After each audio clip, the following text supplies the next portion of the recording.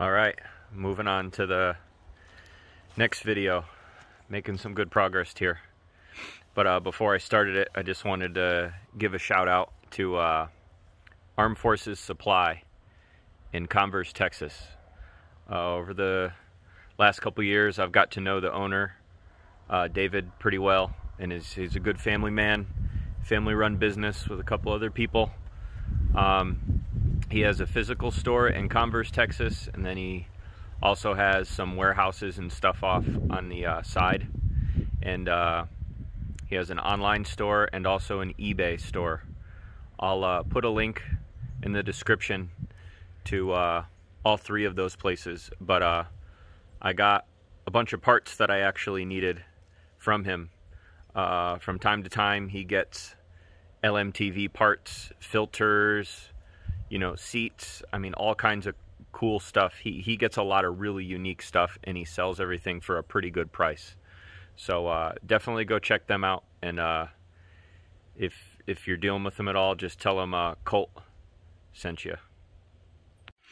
Didn't expect to be doing this project in this video, but uh, I got three of these left side cab air springs. I needed both sides left and right, but uh, my thought, and it was confirmed by one of the other people on the Facebook group, was you can just unbolt and take the metal piece off the top and bolt the top back on to the one that was on your truck and really the only difference is this.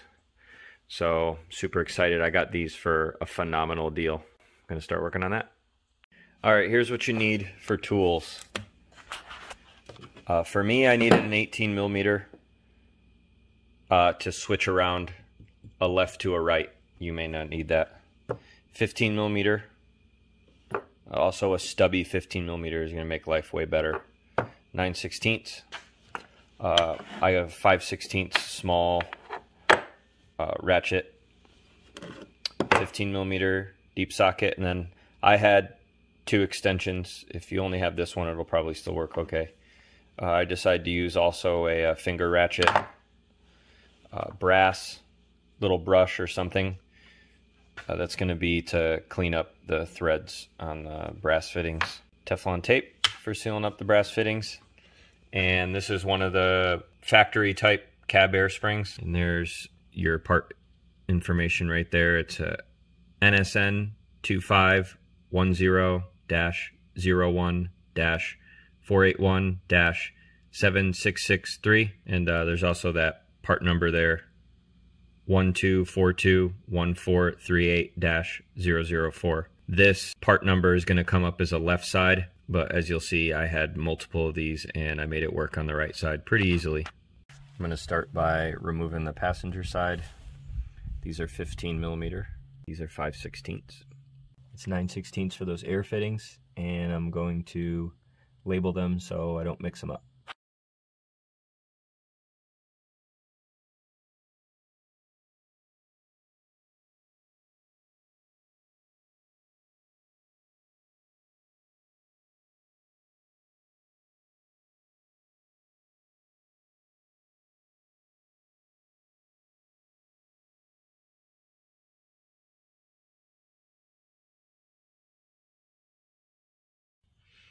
Here's the old one I took off the passenger side. This is the new one. You can see threaded ports are on that side and then the pin. So it's reversed. So I'm gonna work on taking this metal piece off, this metal piece off, and swapping them. Can tell a big difference there. I bet you the shock that's inside the bag is freaking blown out too from sitting on that thing empty. Um, obviously, I'm not doing this, but there is a way to like rebuild these buying just these parts. I don't have to do that, but in the description where I put the different sections of the video, I'm going to share a link to the Steel Soldiers forum, and uh, they have a thread uh, with part numbers and stuff like that if you want to source them yourself and find them. Okay, got it switched over. The only thing you got to pay attention to is this is just like a little rubber plug. I'm going to pull that out when I make my way over there, but uh, make sure it's coming through here.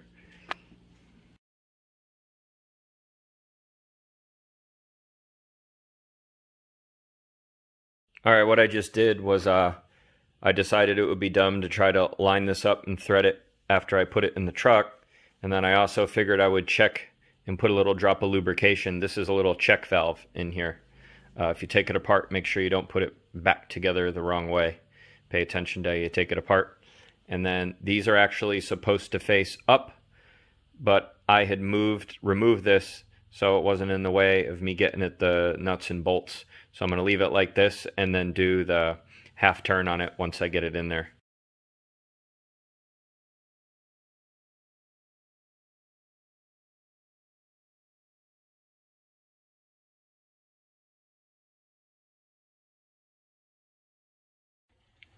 All right, passenger side is all installed.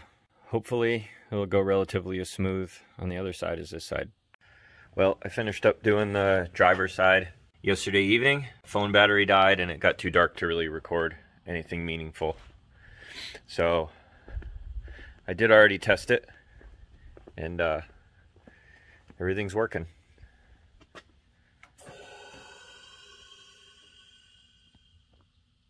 You can hear the air go to it and it doesn't quite lift up and all of a sudden it goes. It's working. I had to adjust the cab tilt or uh, not the cab tilt, but the little. Had to adjust that right there, which kind of adjusts how high or low the cab sits. Uh, it was tilted all the way back on mine, which made the cab ride a little more stiff, and it kind of made it look like the cab was tilting forward. So I moved it right to the middle, and I'm happy with it's where where it's at. And you can see bags are full now. You can see how far above the pin it is, and uh, no air leaks. No, nothing. Happy with it. I originally was going to do the Midwest military equipment aftermarket upgrade, and this cost me 10% of what that did. So, saved me a lot of money to put towards other projects. Um, hey, in case you need to hold rolls of Scott's shop towels, one of the uh, the the upper piece on the cab air spring fits it absolutely perfect. I'm probably to end up using this. We're to pull off the door panel here uh, last time the window went down, it didn't want to go back up. And I kind of forced it up. And I'm to try to troubleshoot what's in there. Alright, we figured it out, what was making it bind. These two bolts right here behind it, there is, uh, it's a bracket that fastens on to this, which is the track. So as you turn this, it feeds either into the track or out of the track into this tube. I doubt you're going to be able to see it on the camera. But where those two bolts are, it's supposed to be like welded, and it's not. It broke free. This was able to move up and down, and that was causing it to bind. Well, it's not binding anymore. And what I did, and this is not my typical type fix, but I drilled a hole to make sure that the track wouldn't pop out and put it into that scrap piece of 2x4 and that holds it up where it's supposed to be and the window goes up and down fine. Then I just put a couple screws to hold it in place. Now the reason why I went with such a cheap fix like this, one, I wanted my window to go up and down. And two, the regulators I was able to find the cheapest was $165 this was nothing. So if it works and it lasts a year, I'll be happy and I'll keep my eye out for a regulator. And if I find one for cheap, then I'll do that. And while I got this off, I'm going to find a bolt for this because my knob has been just on there loose. It's all back together. I left this plastic off because it wouldn't go on right with this bolt and stuff, but uh, used a lock bolt and some washers and stuff I had, so I actually have a knob. And uh, put all new these little press fits in. Better than it ever was. Alright, my next thing is going to be doing the service on the transmission. And boy, is it wet under here. Uh, at first, thought it was a transmission leak. Then I realized that all that hydraulic fluid was dripping down from up top, and I thought it might be that. But then after I fixed that leak, it still kept getting wet. I noticed some drips coming on top of the shaft right here. I figured since I need to, I bet you that gasket is dry rotted or something in there. I'm gonna go and do the service and uh, hopefully just putting new gaskets and stuff's to do it. The drain plug for the transmission is right here on the right hand side.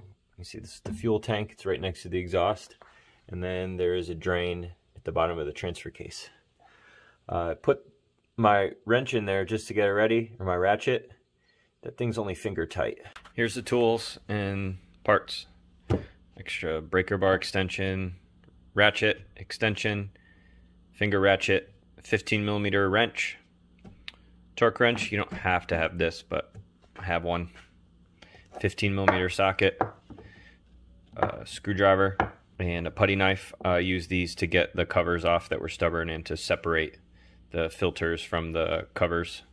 Pick for getting the gaskets off, and then just another ratchet breaker bar, plenty of rags, and the TM work, not work group, but like the third PDF file or the third book, um, 8 Tech 9, 8-32, and it's also in the PDF file. It starts at page 668. And then I also printed out the uh, lube chart with the amounts at the oil change. 31.8 quarts of 15 weight 40 is what I put in. This is the filter kit, 2905 404 903. Uh, you could also see the NSN number right there. Not all of these kits, for whatever reason, come with the two seals or O-rings that you need for the drain plugs. Probably because a majority of these service kits that go into commercial trucks don't have a transfer case. So they don't have a second drain plug like we do. The part number just for that O-ring, if you end up needing it, is an Allison part number 230-19664 is what that is. I'll talk about it again later in the video too and show what I'm talking about. If you're getting one that has an NSN number on it like this that was military, more likely than not it's going to have uh, that proper 2 in it.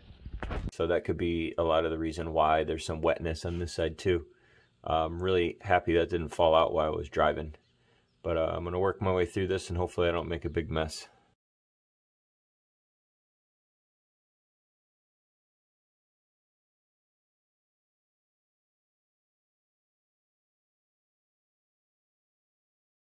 Cleaned off my drain plugs. There really wasn't that much stuff on the magnets and lined up all my gaskets and stuff here. But as a lot of people have said, these filter kits only come with one O-ring and you need two because this truck's got a transfer case. You can see, see how like jacked up that O-ring is? This is the one that was on the transfer case. Every time this was serviced before, they probably never actually replaced that one. That's why it had to be so tight to not leak. Luckily, in all my parts acquisition, I found this open bag that was from a service kit, and it's got one of those O-rings.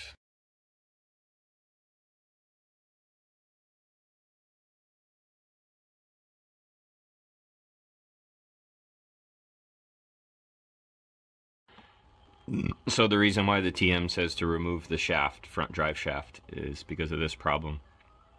You can't take the whole assembly out like I did on the last side. So what I'm hoping I'll be able to do is just fiddle with it and get the filter off so I can get the cap and then the filter out and work it that way. Um, probably should have moved my truck a little bit so that the yoke was on the flat part and it would have helped a lot. But uh, I think I'll still be able to do it. Alright, I got all these pieces off. I cleaned them up and put the new gaskets on. It's pretty easy to match them up. On the driver's side, one that's near the shaft, I'm leaving the filter off because you need to put that on after you get it past the drive shaft. Unless you decided to remove the shaft then you can put it all back together in the kit. These two squarish gaskets um, they're not used in this this application I guess. And uh, the TM doesn't say anything about it either. There is a pattern of tightening them up. And this is looking at it from the bottom and you can see on the left there it says 38 to 45 uh, foot-pounds is the torque.